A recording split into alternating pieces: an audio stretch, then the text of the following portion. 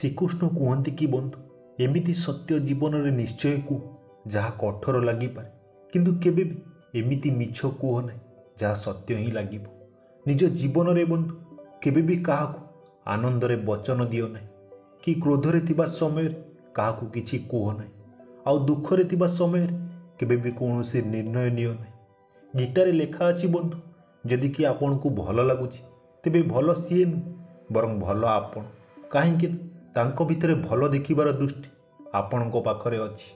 ନିଜ ଦୁଃଖ କଷ୍ଟ ପାଇଁ କେବେ ବି ସଂସାରକୁ ଦୋଷ ଦିଅ ନାହିଁ। ନିଜ ମନକୁ ବୁଝ ତୁମ ମନର ପରିବର୍ତ୍ତନ ତୁମ ଦୁଃଖର ଅନ୍ତ ଅଟେ। ବିଚାର ଆଉ ପ୍ରକୃତି ଏହି ଦୁଇଟି ଯାକ ଭଲ ରଖନ୍ତୁ। ପ୍ରଭୁ ତୁମର ସବୁ ଦୁଃଖ କଷ୍ଟକୁ ଦୂର କରିଦେବେ। ଲୋକ ନିଜ ଶରୀରକୁ ବନ୍ଧୁ ସୁନ୍ଦର ବନେଇବାରେ ଲାଗି ପଡ଼ିଛନ୍ତି। କିନ୍ତୁ ଆତ୍ମାର ସୁନ୍ଦରତା ଶରୀରର ସୁନ୍ଦରତା ଠାରୁ ଅଧିକ ମହତ୍ତ୍ୱପୂର୍ଣ୍ଣ ଶରୀର ତ ନଶ୍ୱର ମାଟି ପରି। ଦିନେ ମାଟିରେ ହିଁ ମିଶିଯିବ। କିନ୍ତୁ ଆତ୍ମା ଅମର। ଏଥିପାଇଁ ବନ୍ଧୁ ଆତ୍ମାର ସୁନ୍ଦରତା ଉପରେ ଧ୍ୟାନ ଦିଅ। ବହୁତ ବିନମ୍ରତା ଦରକାର ବନ୍ଧୁ ସମ୍ପର୍କକୁ ମଜବୁତ କରି ରଖିବା ପାଇଁ। ଛଳ କପଟ ଦ୍ୱାରା ତ ମହାଭାରତ ରଚନା କରାଯାଇପାରେ। ଆଉ ବନ୍ଧୁ ମଣିଷର ବିଚାର ହିଁ ତା'ର ସବୁଠୁ ବଡ଼ ପରିଚୟ ହୋଇଥାଏ। ନହେଲେ ଦୁନିଆରେ ଗୋଟିଏ ନାଁରେ ତ ହଜାରେ ଲୋକ ଅଛନ୍ତି। ସେ ଲୋକ ବନ୍ଧୁ ଲକ୍ଷ୍ୟ ପଥରେ ବାଟ ବଣାଇବା ନିଶ୍ଚିତ ଅଟେ। ଯାହା ସଙ୍ଗତରେ ନକାରାତ୍ମକ ଲୋକ ରହିଥାନ୍ତି। ସମୟ ସବୁବେଳେ ଏକାପରି ରହିନଥାଏ ବନ୍ଧୁ।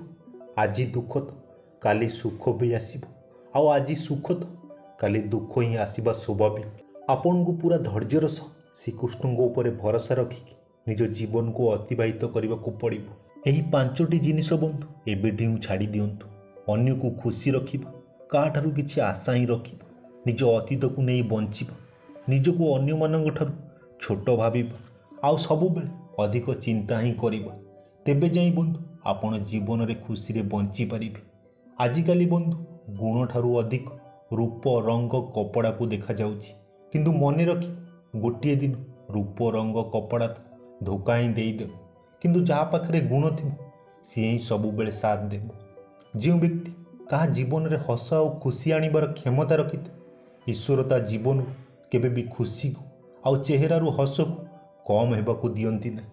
ଯେବେ ଆମେ ଧନ ଅର୍ଜନ କରନ୍ତି ବନ୍ଧୁ ଘରକୁ ନୂଆ ନୂଆ ଜିନିଷ ଆସିଥାଏ।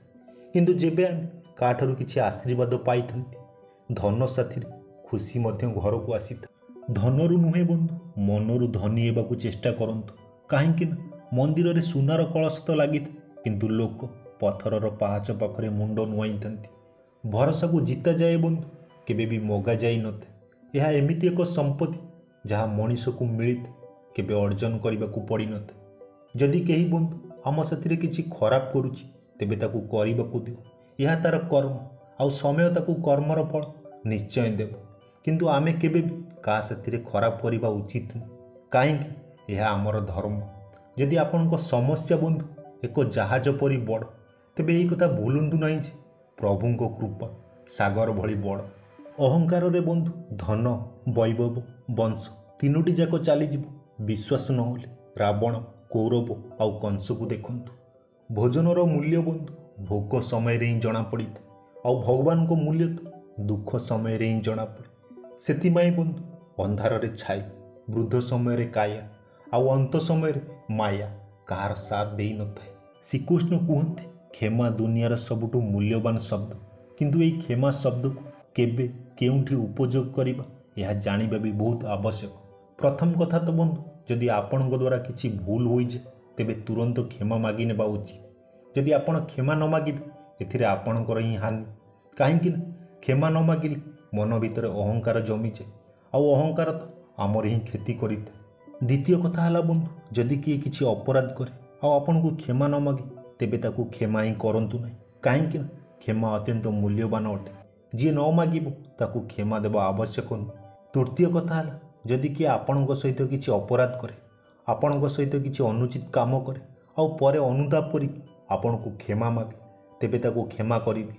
ଏଥିରେ ଆପଣଙ୍କ ଭିତରେ ଥିବା କରୁଣାର ଭାବ ଜାଗୃତ ହେବ ପ୍ରେମର ଭାବ ଜାଗୃତ ହେବ ଆଉ ଏହା ଆପଣଙ୍କ ପାଇଁ ଅତ୍ୟନ୍ତ ଶୁଭ ଅଟେ।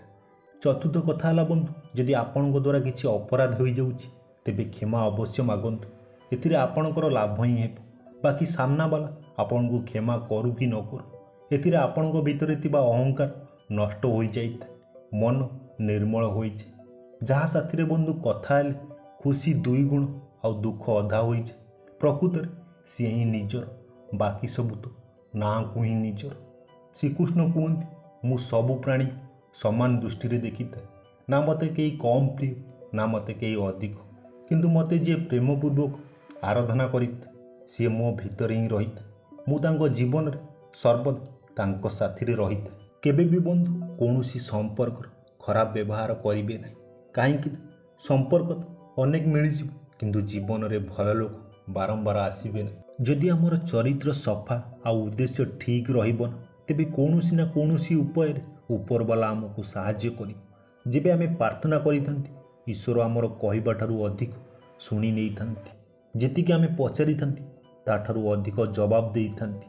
ଯେତିକି ଆମେ କଳ୍ପନା କରିଥାନ୍ତି ତାଠାରୁ ଅଧିକ ସମୟ ଅନୁସାରେ ଆଉ ନିଜ ଉପାୟରେ ହିଁ ଦେଇଥାନ୍ତି।